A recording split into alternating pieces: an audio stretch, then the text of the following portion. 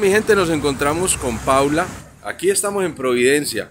Paula, ¿cuál es la situación de su mamá y por qué es tan urgente eh, este tema de la salud de su mamá?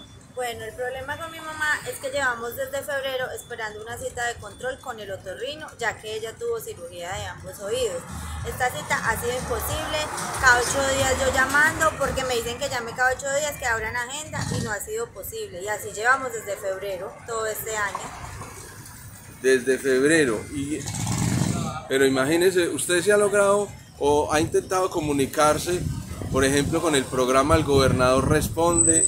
con alguien de la alcaldía, de la secretaría? Con la superintendencia de salud, sí, pero allá también es un problema para que le contesten a uno. Pero con el programa del gobernador ni, ni siquiera sé a qué hora es el programa. Ah, bueno, de todas formas, eh, nosotros vamos a estar pendientes de su caso, vamos a enviarle este tema al gobernador, al alcalde también, a intentar buscar por la Secretaría de Salud, a ver cómo le logran solucionar a su mamá, pero es muy triste de verdad que desde febrero, o sea, vamos a cumplir un año, 10 meses.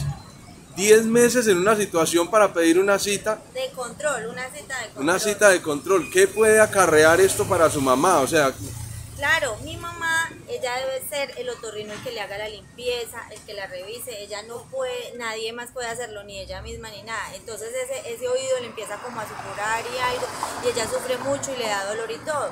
Necesitamos esa cita con urgencia. ¿Y ustedes qué están haciendo cuando le ocurre eso? ¿Le hacen ustedes mismos Él le había dicho, le había recomendado unas gotas, nosotros tuvimos que comprar esas gotas y aplicárselas, pero es lo único porque no le podemos introducir nada en el oído ni nada, ni ella misma, entonces ella sufre mucho por eso. Recordemos, ¿cuál es la EPS que le La SOS. SOS, la que le corresponde la este que tema. Le corresponde, sí. Bueno, Paula, muchísimas gracias. Vamos a estar atentos y le vamos a enviar este video y esta denuncia a, a, todos los entes de control a ver qué es lo que pasa en Risaralda, porque muchas personas están denunciando eh, temas de negligencia, podría decirse, de la salud de los risaraldenses. Sí, señor, me parece muy bien y muchas gracias por su colaboración. Con gusto, hasta luego. Hasta luego.